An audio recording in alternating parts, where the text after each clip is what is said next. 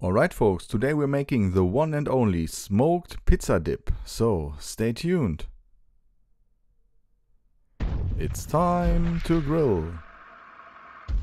We're gonna get this video started with my one and only baking form. What would I've done without that one? I used it in so many videos over the past years. And so today. Start with two packages of cream cheese.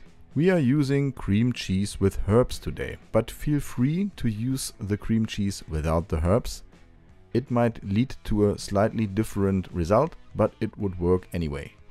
Just take a normal spoon and spread it into your baking form and this should be the first layer. You might have the feeling later on that you want to recreate this dish at home, so make sure that you check out the video description if you need a list for ingredients and measurements. We have everything in there. The next layer is a layer of seasoning. I decided to go for an SPG, salt, pepper and garlic. There are several versions available. Find your perfect or mix your own. This might work too. After the seasoning, the third layer is pasta sauce. And now feel free to use your favorite pasta sauces. There are many uh, versions available. You can get those with fresh basil, you can get these with uh, ground meat inside, or the Al Arrabbiata version with some hot spices and chili in there. Feel free to use your favorite.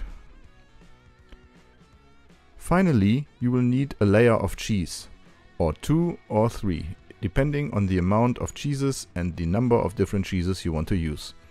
We are going for cheddar cheese, mozzarella cheese and Gouda.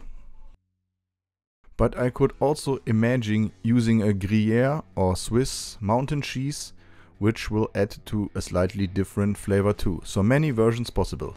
Finally, I covered this one with an Italian herb mixture. Due to the fact that we are saying this is a pizza dip, you could also add your favorite pizza toppings. I'm going for onions and, guess what? Pineapple. I'm one of the guys who likes pineapple on pizza. Judge me, but I love it. So only one half here, the other half stays clear. I have already preheated my GMG pellet grill for 140 degrees Celsius, which is approximately 270 degrees Fahrenheit. And we're gonna smoke the pizza dip for around about 35 minutes. In the meantime, enough time to take a Scotsburg pan, heat up some olive oil, and roast some fresh baguette until they are golden brown and crispy. This really makes a huge difference if you want to dip it into your pizza dip, just compared to the version without the roasting and the olive oil. Great flavor, great stuff. So after 35 minutes, the pizza dip has a great smoke flavor and looks like this. It reminds me of the smoked queso viral trend two years ago, but I love it. Now take your bread and dip it into your pizza. Play with the bread, use ciabatta, focaccia, and you will have a great party food for your family and your friends. I promise that everyone will love this one. And of course, as always, I'm gonna give this a shot right now. Please don't forget to hit that like button and leave me a comment. What would be your topping? Are you for salami, olives, pepperoni? What is your favorite one? Or are you also going for pineapple? Can't wait to hear your thoughts about that.